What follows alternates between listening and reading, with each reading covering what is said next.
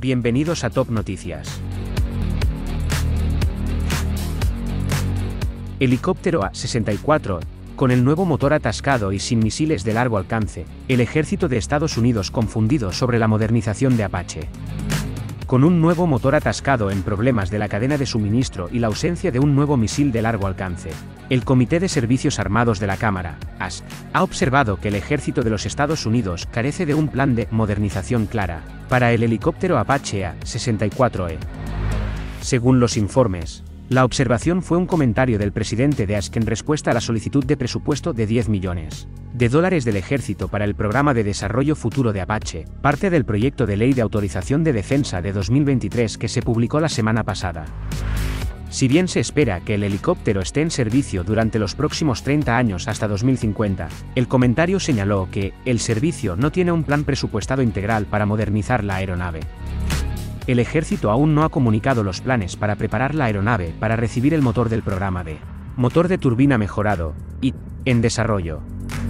Se espera que los IP se instalen en los U-60 Blackhawks e incluso en los aviones de reconocimiento de ataque futuro del ejército. Además, el ASC espera un informe del ejército, analizando la cadena de suministro para el IP, antes del 1 de abril de 2023, detallando cada componente del motor fabricado en los EU y los importados, junto con una evaluación de cómo COVID-19 podría afectar el ecosistema. Y cadenas de suministro. El IP, desarrollado por General Electric, se retrasó debido a las interrupciones de la cadena de suministro industrial inducidas por la pandemia. El motor T901DG fue seleccionado sobre el fabricado por la colaboración de Honeywell y Pratt Whitney, Advanced Turbine Engine Company.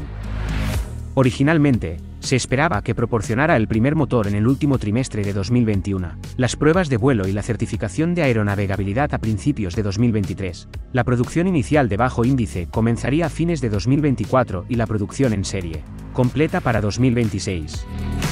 Otro problema que podría resultar ser un freno ha sido la ausencia de un misil aire-superficie de largo alcance, y el ejército se las arregla con el misil israelí Spike Non-Line of Sight, NOS. Suscríbete por favor es gratis.